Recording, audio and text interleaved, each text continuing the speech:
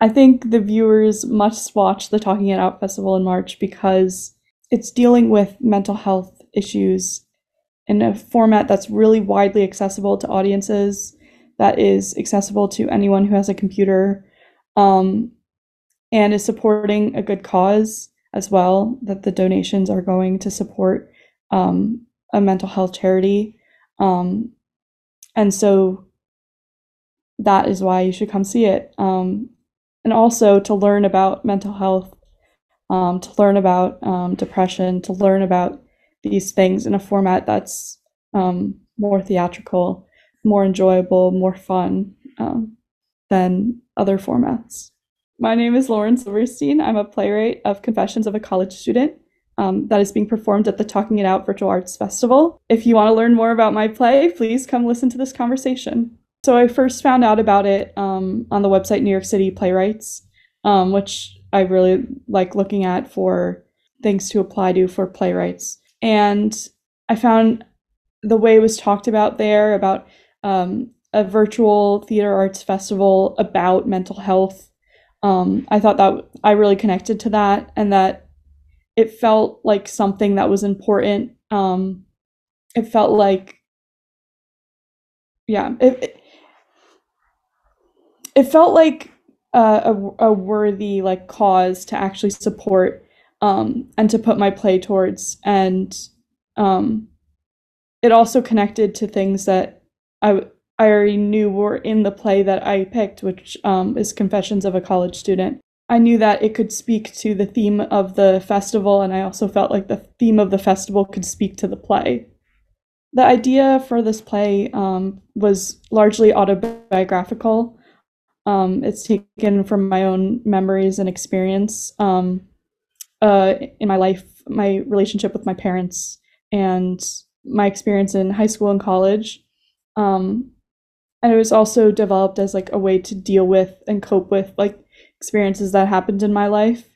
Um, so I I had to write it because I wasn't dealing with it any other way, and writing was a form of, of closure for myself. Um, and then once I wrote it, I realized, once I tried to write it anyway, I realized that it was, I think it would help someone else. Um, and I think it would help an audience that needs to see a play about someone who can live through something terrible and come out the other side and who can grow and develop from something that happened in their life. Um, and I think it also speaks to um, how we talk about mental health, um, which is why I love this festival because it's talking it out.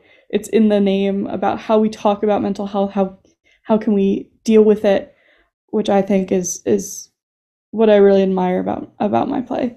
The story is called Confessions of a College Student, and it's about a character named Dolly and also another character named Lauren, who are the same person, um, and how they're trying to deal with um, this this trauma that happened in their life. Um, that that they didn't that they were very depressed for a long time and that they didn't have help. Um, and Dolly is still stuck in that um, while Lauren, a little older, is able to reflect on her her story a bit more. Um, and so they tell Lauren's telling this story um, as Dolly is experiencing it.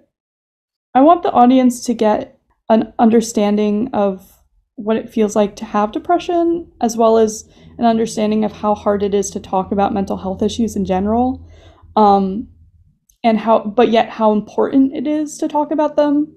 Um, how we can't really have closure have um, any sort of healing without dealing with it or talking about it.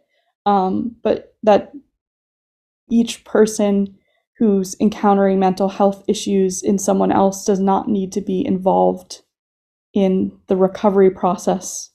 Um, and that like it can be difficult to deal with um, mental health issues, even um, even if it's some, especially if it's someone close to you.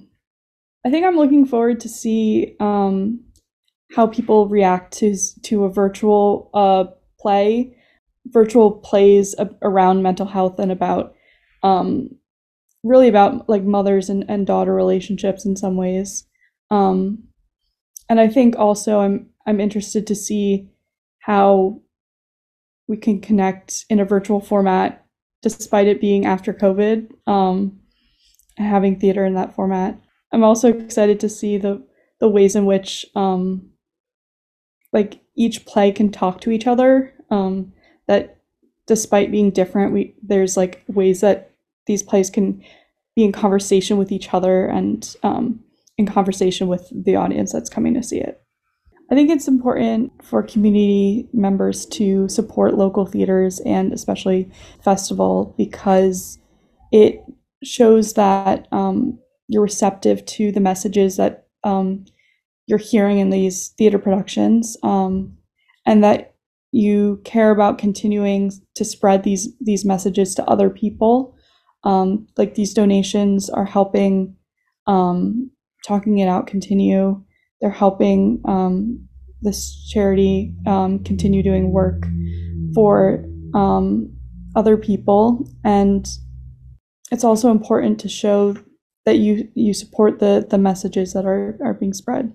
I think i just want to mention that um, i think this festival is is supported by a ton of creative people a ton of um, really amazing people who are dedicating their time and and their assistance to putting on a really great show.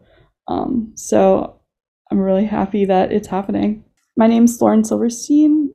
I'm um, a playwright and I'm playwright of a play called Confessions of a College Student, which is being put on by the Talking It Out Play Festival. Um, I hope that you'll all come see it and that you come talk about uh, mental health issues um, with other people. Please support this festival and support um, all these artists who are putting it on.